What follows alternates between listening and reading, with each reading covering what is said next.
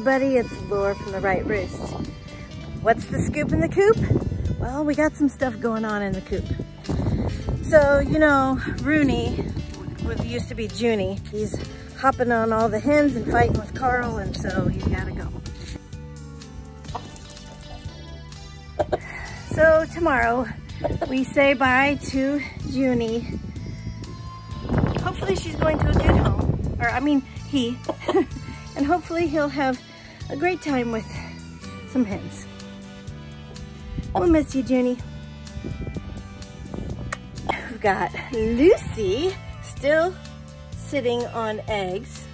Those eggs should be hatching this weekend, so we'll be watching. Uh, Carol Brown, who gave birth to the four chicks, um, the three three chicks are big and they need to come out. They're like six weeks old now.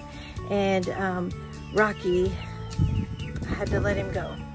Uh, keep, keep it real. Um, so Rocky was growing, but not growing very fast. He kept getting stepped on. He, um, he couldn't stand up and if, uh, you know, he'll gain weight and he won't be able to, he'll just end up scooting. Everybody was stepping on him and I know he would have gotten picked on. So um, I made the executive decision to um, put an end to Rocky did I do it? Yeah, no. yeah, no, I'm not there with that yet. But I had a great friend who, um, she came and got him and took him away and they ended it for him the proper humane way that you do on a chicken farm. Um, so I'm very grateful for her uh, and her husband. Yeah. Got three Hi guys. You guys wanna come out? Oh, I need to give you some water.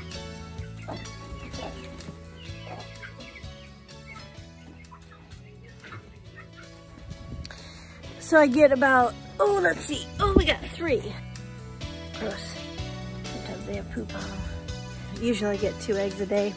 So, um, yeah. And that was the scoop in the coop.